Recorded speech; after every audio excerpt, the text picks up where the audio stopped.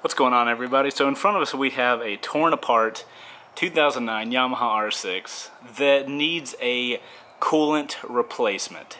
It uh, should currently have distilled water in it and uh, we've got some engine ice that we're going to put in there and I'm going to show you how to do that today.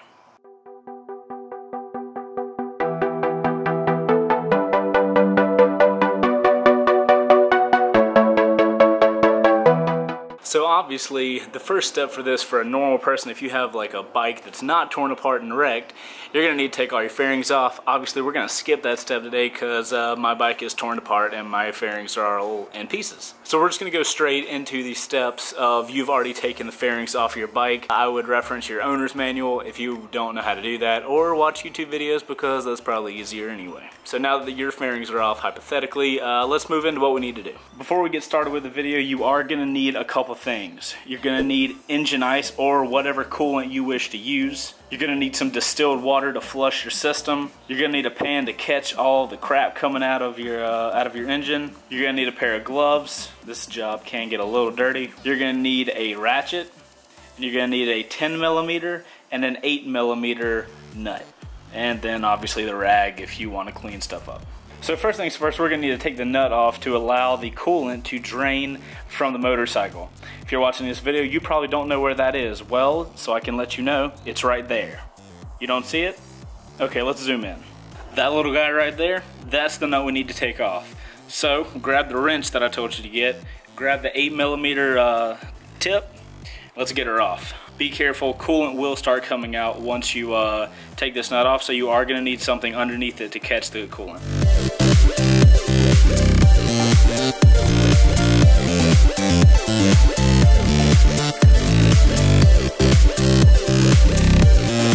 Alrighty, so it's fun to sit here and wait on this for a while, but a way we can speed this up is to take off the cap here to allow more air to go through. So we're gonna take this cap off.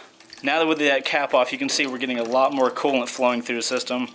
That's just gonna speed it up so you can get the coolant out at a faster rate. Again, that cap located right there. So as you can see, we're now just dripping from the bottom. So we're to move on to the next step. All right, so the next step is we're going to remove the reservoir. Typically, if you guys are just doing a regular flush, you guys are gonna have um, coolant left inside this guy. With me having wrecked, this has spilled out, so mine's gonna be empty, but I'm still gonna do it just to show you guys what you're gonna need to be doing. So you're gonna need to grab that 10 millimeter socket and the wrench, and we're gonna take these bolts off so we can dump this guy out.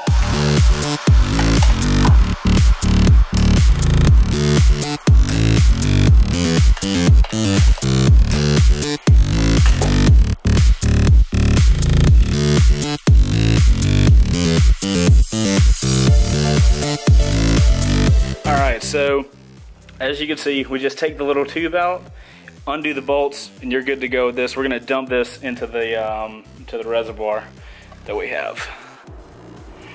Alrighty. Now, we're gonna put this right back on now that we've dumped it out.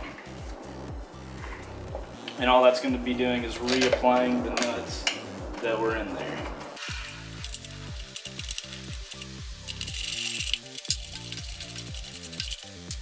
Alright guys, so I just realized I forgot to mention you are going to need a funnel for this job. That's basically just to make it easier to get the distilled water inside of here. Let's go ahead and move the wheel so we can get it in there easier. So what we're going to be doing now is actually flushing the system. We're going to be pouring distilled water into here and letting it go all the way through the system. It's going to come out where the uh, coolant came earlier.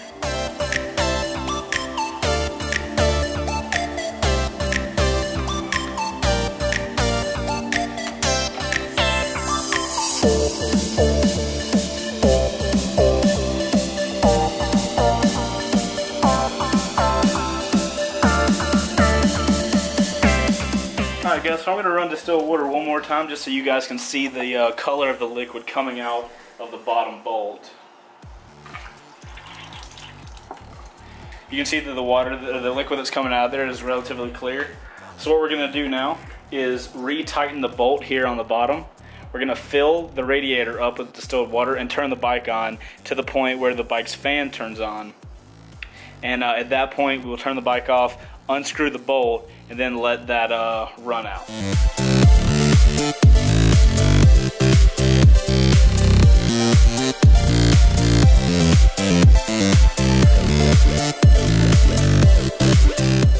Alright guys, so we filled the radiator full of distilled water. I would recommend when you're doing that to listen to the bike because it's gonna you're gonna hear that sound change over time when it's filling up. So when you hear it getting full, I would go ahead and take the um, I would go ahead and take the tube out because you don't want it to like overflow onto you whatever. Alright, so we've got the radiator full of distilled water. We're now going to crank the bike up, let it get up to temperature, and then we're going to turn it off because at that point the radiator is going to start running and cycle the water through it. Alrighty guys, so we had a slight issue. Uh, the bike was actually dead. The battery was dead from, it hasn't been cranked up since it wrecked. So with the alarm on, I guess the bike just died. But we've got the bike charged up now, so now we're going to turn it on and uh, let it stay on until it heats up and the radiator turns on so it starts cycling the fans.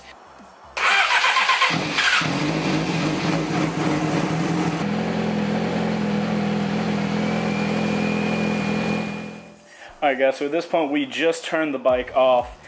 Keep in mind you can't unscrew the holes right now because everything that comes out of this bike along with the radiator cap and the nut are going to be hot as hell. So let your bike cool off for a minute and then once it cools off we're going to be taking the screw out again, going to take the radiator cap off and let all of that distilled water drain through the system. You guys ever have that moment where you're like super impatient? Yeah, that's look at the steam coming off of that. Yeah, guys, I would definitely recommend when you're doing this, make sure you do wait longer. I've only waited probably 10 minutes, and this water is still crazy hot, so just be careful with it.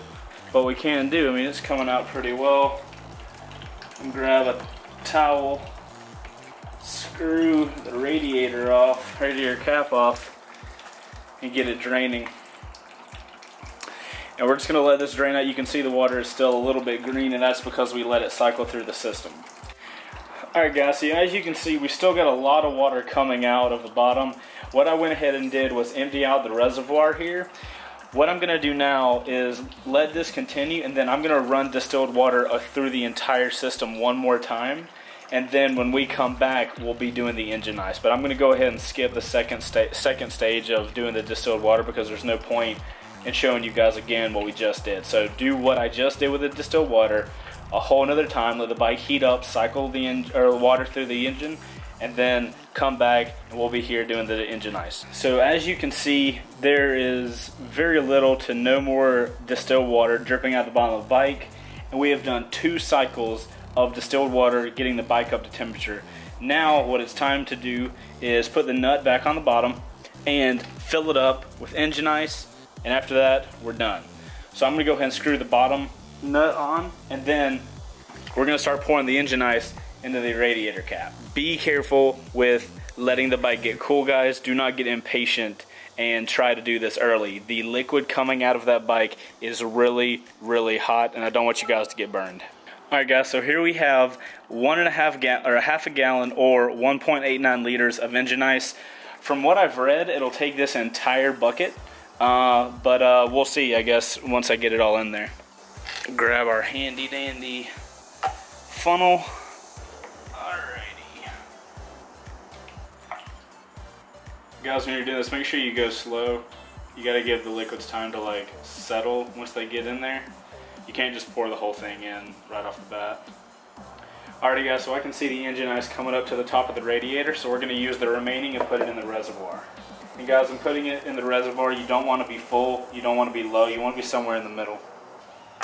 Alrighty guys, so I stuffed as much of the engine ice in as I could. The radiator is absolutely full.